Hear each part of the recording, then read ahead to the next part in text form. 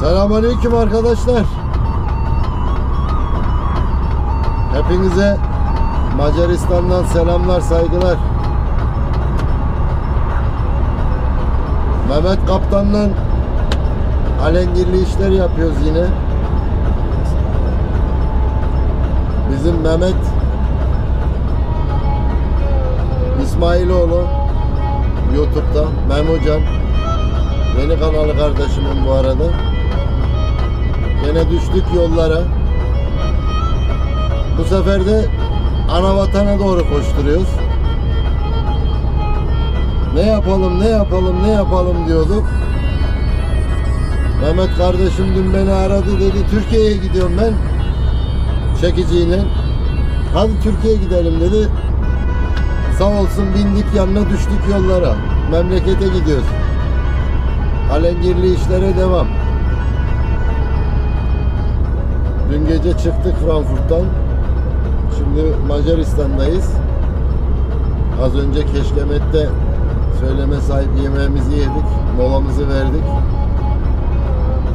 Buradan da Romanya, Bulgaristan, Türkiye yapacağız arkadaşlar. GoPro'muzu da kurduk. Şöyle güzel anıları sizlerle paylaşalım istedik selam verelim istedik.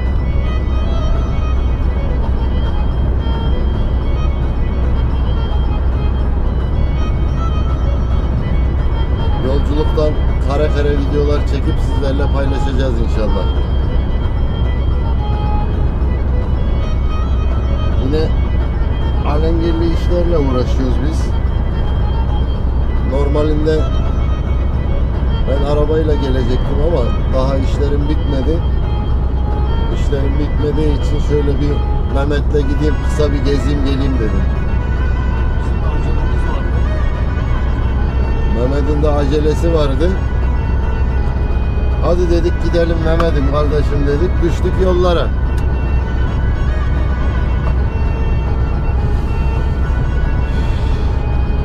GoPro'ya da güzel bir yer bulduk. Size de bir selam verelim dedik. Bir 4K çekelim bakayım nasıl olacak dedik. Tek sıkıntı dönmüyor bu zıkım. Sabitledik cama. Biraz da yoldan çekerdik ama artık ilerleyen zamanlarda yine bir elimize alıp şöyle sağı solu gezdirip bir video çekeriz. Evet. Evet Memo kardeşim söz sende. Herkese selamlar arkadaşlar. Göründüğü gibi Serdar abiyi de işinden aldım. Arabanın acelesi var. Cumartesi günü oraya girmesi lazım.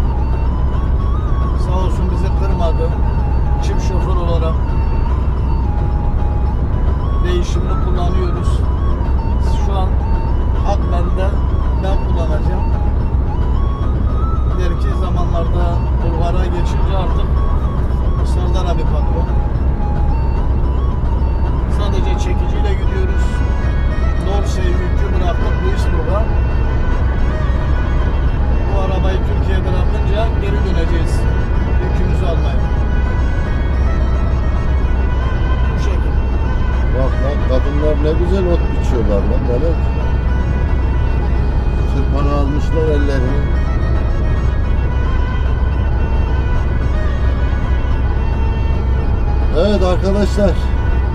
Durumlar böyle. Birazdan gidelim. Matlar kapıda biraz curcuna çıkartalım abi. Evet. Hazır çekiciyle gelmişken hiç kimseye bir şeyimiz yok. Ne yük sıkıntımız var. Bu arada da arkadaşlar Almanya'da tatil başladı Hessen eyaletinde. Herkes yollara düştü. Yollarda olan gurbetçilere kazasız, belasız, cezasız bir yolculuk diliyorum. Hepiniz inşallah sağ salim sevdiklerinize kavuşursunuz. Memleketinize, yurdunuza inşallah kazasız, belasız varırsınız arkadaşlar. Yollar çok kalabalık. Dikkat etmek lazım arkadaşlar. Dün geceden beri biz yoldayız. Biz dura- durmadan gidiyoruz. aşırı şekilde bir yoğunluk var. Özellikle Hessen eyaletinden gelen çok e, gurbetçi kardeşlerimiz var Avrupa'daki Avrupalılardan, Almanya'dakilerden. Hepiniz inşallah sağ salim evinize varırsınız arkadaşlar. Aman aman aman uyumadan gitmeyin. Kesinlikle uykunuzu alın, yatın, dinlenin. Sık sık kahve molası verin arkadaşlar. Yollar gerçekten çok kalabalık. Bir an önce varalım diye kendinizi riske atmayın. Çoluğunuz çocuğunuz yanınızda bir gün sonra olsun ama sağlıklı olsun arkadaşlar. Cenab-ı Allah'ım hiçbirinizin acısını göstermesin. Sağ salim sevdiklerinize kavuştursun. Geri dönmek nasip etsin inşallah.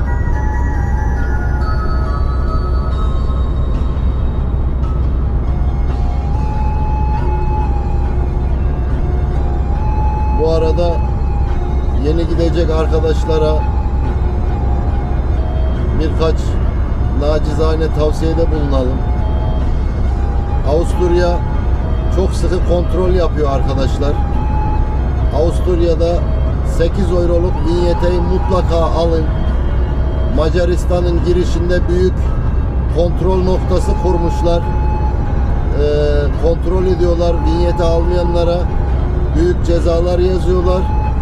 Avusturya'da mutlaka Avusturya'nın girişinde Zuben'de veya ondan önceki gelen benzinliklerden 8 euroluk vinyetenizi alın arkadaşlar. Aynı şekilde e, Macaristan'ın girişinde de kontrol var. Yani daha bugün sabah geçtik orayı saat 7'de. Bugün cumartesi 23.06.2018 cumartesi. E, bugün sabah 7'de geçtik oraları arkadaşlar. E, Avusturya'nın çıkışı Nickelsdorf'ta Avusturyalılar kontrol ediyor vinyeteleri. Macar'ın girişinde de Macarlar kontrol ediyor arkadaşlar. Macar'ın girişinden hemen giriyorsunuz sağ taraftaki vinyete gişelerinden ben iki hafta önce geçtim. Ayın 13'ünde geçtim oradan. 13 euroya aldım. 13 euroluk bir vinyeti alıyorsunuz. Kasa kağıdı şeklinde veriyorlar. Arabanızın kafa kağıdı ile yani Fahrzeugschein'le gidiyorsunuz 13 euroya oradan vinyeti alıyorsunuz. Onunla birlikte Sırbistan'dan gidecekseniz Sırbistan'da e, gişeden fiş çekiyorsunuz arkadaşlar. 3 yerde ödeme yapıyorsunuz. Oradaki tam rakamlar aklımda değil ama yanılmıyorsam bir yerde 3.80 vardı. Birinde 6 küsür vardı. Birinde de valla yalan söylemeyeyim. 8 mi 9 euro mu öyle bir bir şey vardı.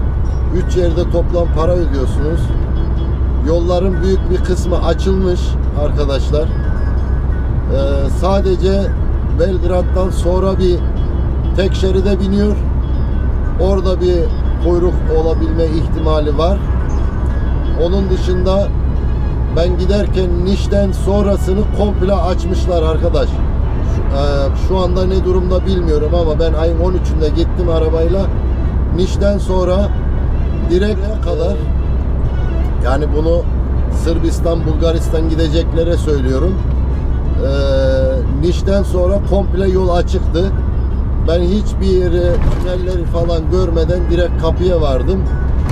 Ondan sonra da zaten Bulgaristan'a geliyorsunuz. Orada yine aynı şekilde Bulgaristan gümrüğünden girdikten sonra ilk ağızdaki kulübelerden vinyeti almayın arkadaşlar. Onlar 13-14 euroya satıyorlar. Hemen 200 metre ileride büyük Shell benzinlik var. Oraya girdiğiniz zaman Shell benzinlikte 8 euroya satıyorlar vinyeteyi. Bulgaristan'ın vinyetesi 8 euro. Oradan da onu almayı ihmal etmeyin. Çünkü onu bahane edip ceza yazmaya kalkıyorlar arkadaşlar. Ondan sonra da zaten çevre yolundan transitten direkt Plovdiv istikametine devam ediyorsunuz. Ondan sonra Silvingrad Allah'ın izniyle Kapıkule'den giriyorsunuz arkadaşlar. Buradan da nacizane edindiğimiz tecrübelere göre Daha yakın bilgiler bu anlattıklarım. Yeni gelecek arkadaşlara nacizane tavsiyemiz olsun. En azından bilgileri olsun. Kimse sıkıntı yaşamasın arkadaşlar.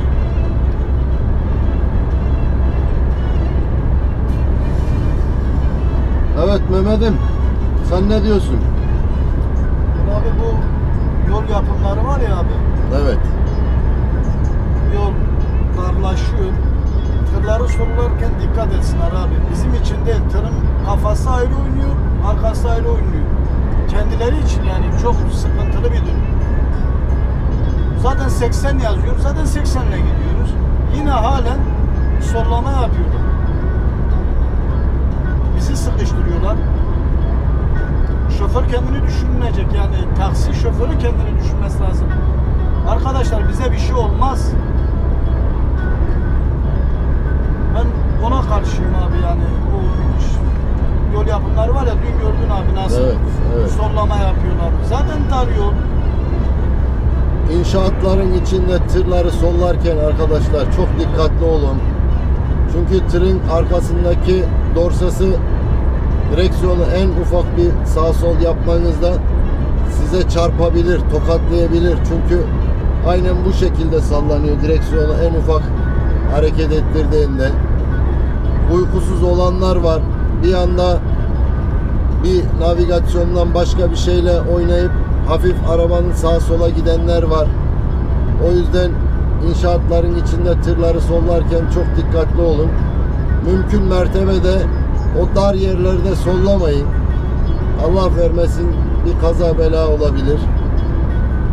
Onlara da dikkat edelim. Ama en önemlisi bir daha söylüyorum arkadaşlar. Şuraya da varayım, buraya da varayım demeyin. Mutlaka uykumuzu alın, dinlenin gidin. En sağlıklı şekilde gidersiniz. Bir gün geç olsun. Aynen bir gün geç olsun hiç ama olmaz. güç olmasın. Evet.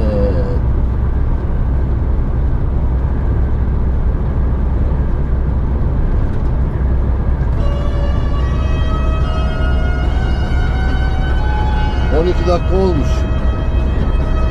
Buradan herkese tekrardan kazasız belasız hayırlı yolculuklar diliyorum. Hepiniz Allah'a emanet olun. Bir dahaki videoda görüşmek üzere. Hoşça kalın, mutlu kalın arkadaşlar. Allah'a emanet. Olsun. Amin.